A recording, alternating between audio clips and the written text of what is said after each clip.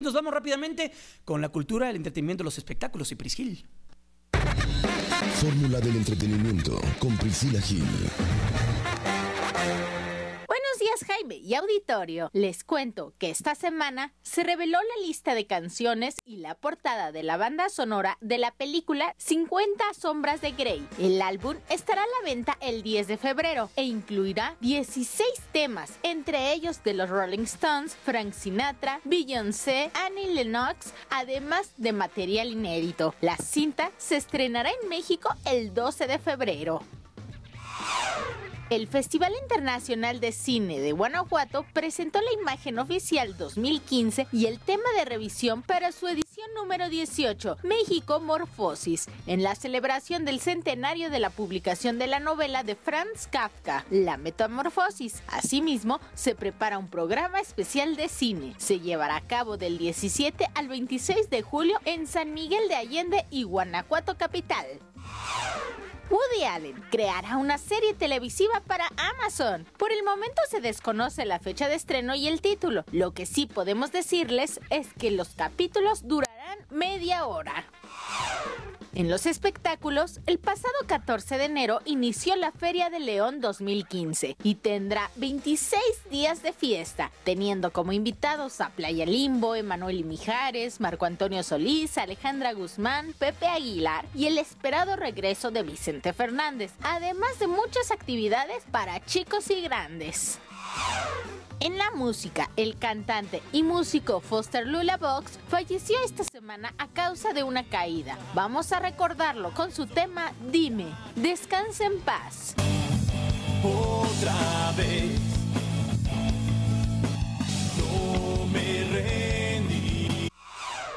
Para este sabadito de frío, a las chicas les tengo las imágenes de Justin Bieber, que de manera muy sexy será la imagen de una marca de ropa interior y en la cual mostró su cuerpecito.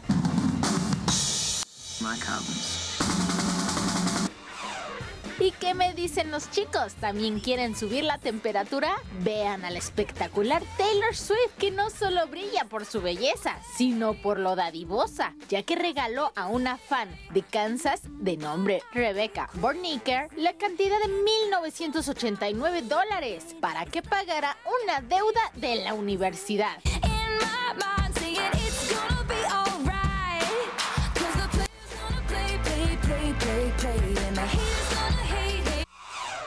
Y ahora, ¿qué tal si vamos con algunas canciones de gustos culposos de hace algunos años y que siguen en nuestro iPod o reproductor de música? Por ejemplo, ¿ustedes recuerdan esa de Popocatépetl de Faye? Sí, esa que decía nananaran, pum, pum, Popocatépetl, esa.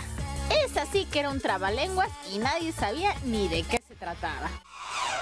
¿O qué tal ahora esa de Pepe de Jeans? Era tal cual como un himno de todas las chavitas de ese tiempo. Que tuvieran un José, al que tuvieran un José, al que secretamente amaban.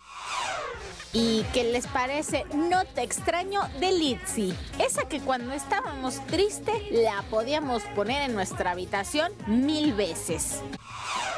O tal vez La Culebra de Banda Machos. Esa canción que a nadie se le olvida, que puede estar en bodas o en donde sea y que nos recuerda cuando asesinaron a Luis Donaldo Colosio en Lomas Taurinas. Y recordamos a la reina del Tex-Mex, Selena, esa de Bidi Bidi Bam Bam. Seguramente la recuerdan. Ay, cómo nos dolía esa canción. Y hasta la llorábamos y la sufríamos. Espero sus comentarios a través de mi cuenta de Twitter para que me digan cuál es su preferida de estas de gustos culposos. Nos despedimos con Juan Gabriel, quien estrenó esta semana la canción y video en formato digital de Querida al lado de Juanes. Chequen los arreglos musicales y las armonías. A mí sí me gustó. Que tengan un excelente fin de semana. nada bien, querida. No me ha sanado bien la herida. Extraño y lloro.